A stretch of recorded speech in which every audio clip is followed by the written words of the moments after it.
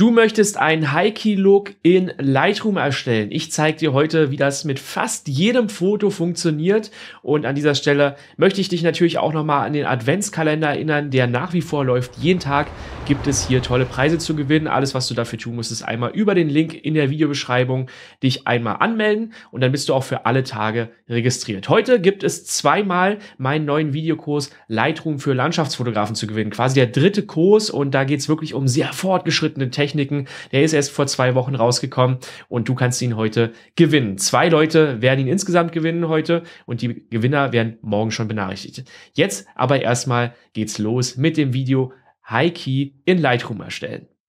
Für den High-Key-Look habe ich mir jetzt hier mal ein Bild rausgesucht aus Island von einem isländischen Pferd und ich glaube, dass das ganz cool aussehen könnte, wenn wirklich alles drumherum, ja, relativ hell ist und wir uns wirklich nur auf das Pferd an sich konzentrieren. Als erstes würde ich aber tatsächlich mal noch so ein bisschen den Bildausschnitt äh, einstellen, weil ich möchte das andere Pferd hier, das Hinterteil von dem anderen Pferd hier nicht wirklich mit drauf haben.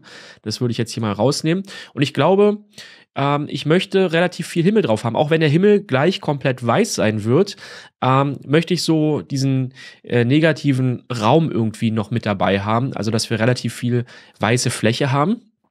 Also das gefällt mir schon ganz gut, aber ich möchte trotzdem natürlich insgesamt das Pferd schon noch ein bisschen äh, dominanter drin haben. Aber so sollte schon mehr Himmel sein als hier Vordergrund.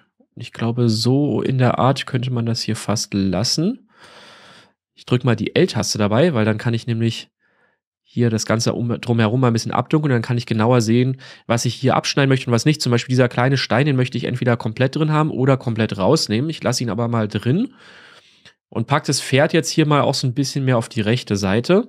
Das gefällt mir so eigentlich ganz gut. Und dann klicke ich hier mal auf OK. So, perfekt. Dann haben wir jetzt erstmal den Bildausschnitt. Und jetzt geht es um den High-Key-Look. Schauen wir uns doch einfach mal das Histogramm ein bisschen genauer an. Wir haben hier einige Schwarzwerte drin, ein paar Tiefen und dann in den Mitteltönen haben wir relativ viel drin und auch viele Lichter und ein paar Weißtöne.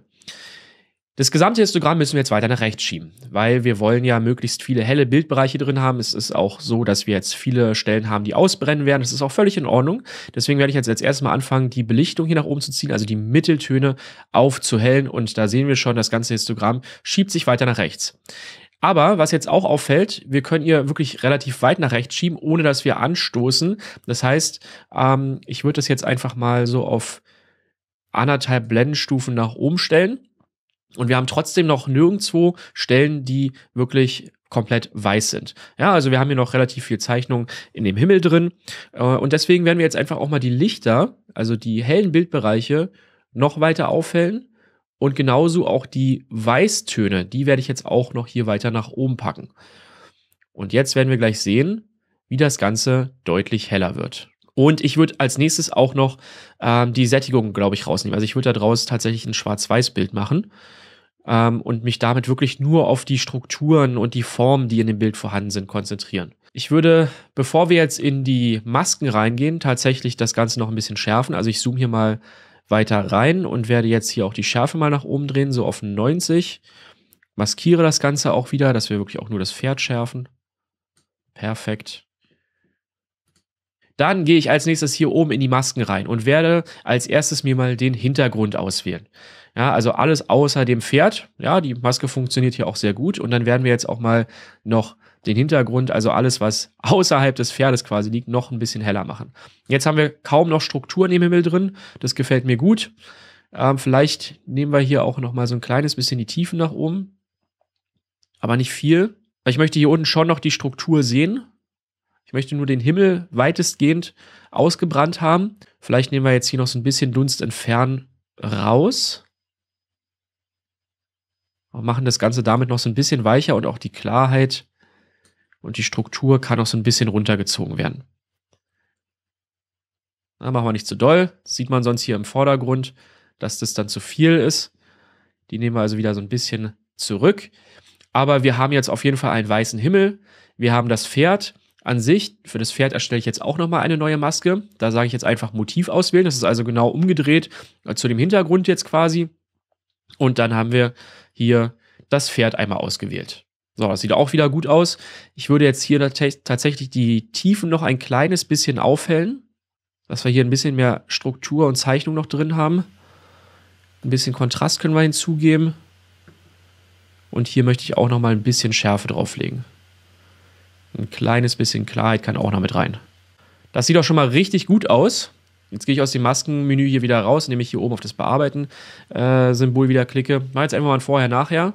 So sah das Bild vorher aus. Das haben wir jetzt draus gemacht. Ich finde schon ein sehr schöner High-Key-Look.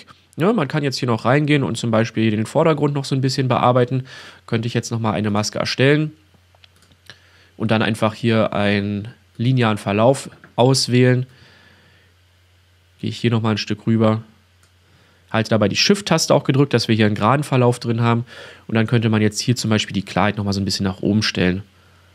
Und vielleicht auch hier Dunst entfernen, nochmal ein kleines bisschen nach oben, dass wir hier den Vordergrund noch so ein bisschen mehr betonen. Ja, aber dann bin ich auch soweit fertig. Und jetzt haben wir hiermit einen schönen High-Key-Look erstellt. Das war's mit diesem Video. Ich hoffe, es hat dir gefallen und du kannst in Zukunft vielleicht mal das ein oder andere High-Key-Look-Foto erstellen in Lightroom. Nochmal die kurze Erinnerung an den Adventskalender. Falls du Lightroom für Landschaftsfotografen gewinnen möchtest, dann melde dich einfach für den Adventskalender an. Der Link ist unten in der Videobeschreibung. Und ansonsten hoffe ich, dass wir uns morgen schon beim nächsten Video wiedersehen. Mach's gut.